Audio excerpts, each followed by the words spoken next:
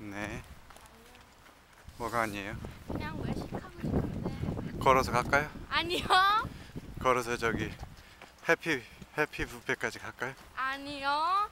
한 3시간 정도면 걸으면 될 것 같은데. 괜찮아요.